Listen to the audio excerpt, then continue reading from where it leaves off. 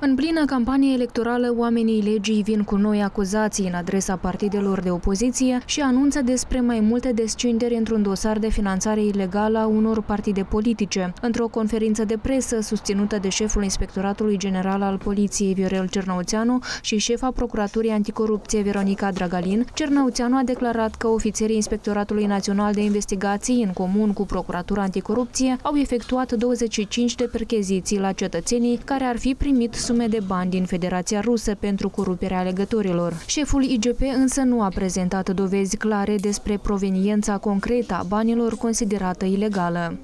Doar la ziua de astăzi, poliției este cunoscută transferurile sau acțiunile care se petrec de corupere a unor cetățeni în număr de 130.000 de cetățeni. Deci noi vorbim de numărul de cetățeni care ne sunt cunoscuți nouă la ziua de astăzi și despre transferurile care au fost realizate pe conturile acestor cetățeni venite din Federația Rusă, poliția a documentat evidența transferurilor doar pentru luna septembrie de peste 15 milioane de dolari care au fost transferați în adresa acestor persoane care au diferite roluri în procesul respectiv. Șeful IGP a refuzat să ofere un răspuns clar atunci când a fost întrebat de reporterul postului nostru de televiziune ce partide anume ar fi vizate în dosarul de finanțare ilegală și nici nu a dat denumirea acestora.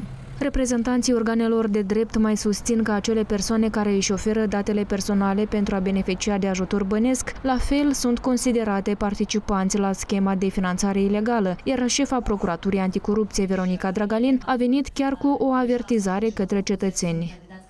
Noi cunoaștem cine sunt aceste persoane, deci în cadrul urmăririi penale am stabilit cine sunt aceste persoane, am stabilit ce sumă de bani primesc pe conturile deci, de această bancă în Rusia.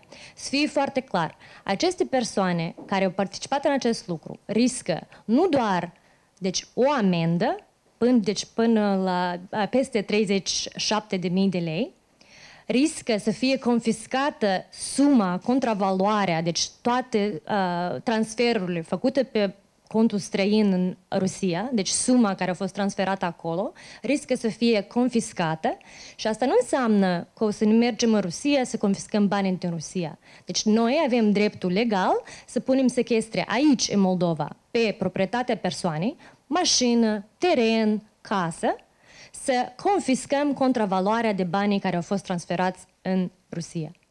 Adică procuratura și poliția au decis să încadreze beneficiile sociale pe care cetățenii cu venituri mici le primesc prin proiectele lui Lanșor în categoria finanțărilor ilegale, iar oamenii care nu au sprijin din partea statului și de fapt supraviețuiesc doar datorită ajutorului au fost echivalați cu criminalii, iar transferurile în sine considerate mituire a alegătorilor. Totodată, Cernăuțeanu, în loc să spună de ce poliția nu verifică oponenții PAS și pe Maia Sandu atunci când aceștia utilizează resursele administrative, a ținut să lanseze reproșuri în adresa reporterului nostru. În baza căror temei intervine poliția în campanie și terorizează opoziția atunci când merg la întâlniri cu cetățenii, blochează, uh, urmăresc ilegal, uh, dar încălcările uh, flagrante ale partidului de opoziție cu folosirea resurselor administrative copiilor în campanie, poliția nu le vede.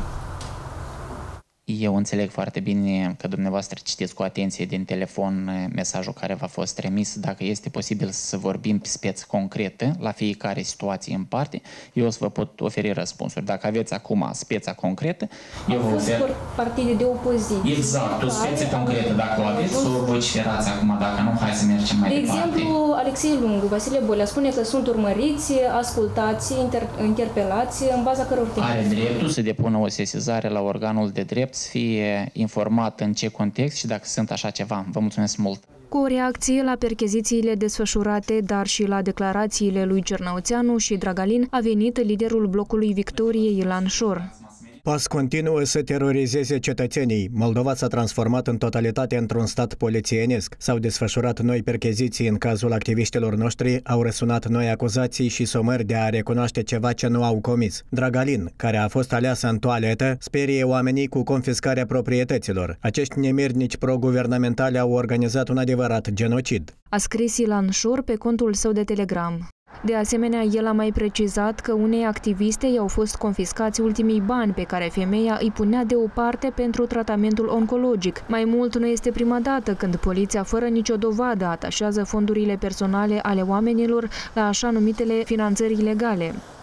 Acestor nenorociți le voi spune totul. Nu există și nu poate exista nicio faptă ilicită. Toate plățile sunt legale, iar de la ce ONG-uri occidentale primește bani toată gașca pasistă este ceva la care ar trebui să se gândească procuratura din toaletă. Avem dreptul la liberă exprimare, avem dreptul de a protesta. Declarația Universală a Drepturilor Omului, adoptată de ONU în 1948, prevede dreptul poporului de a se opune unui regim dictatorial. A mai scris politicianul. Ilan Șur a dat asigurări că va ajuta persoana care a rămas fără banii strânși și că aceasta nu va rămâne fără tratament. De asemenea, el a declarat că se va asigura să fie eliberați toți cei reținuți, astfel încât oamenii din țară să nu se mai confrunte cu brutalitatea poliției.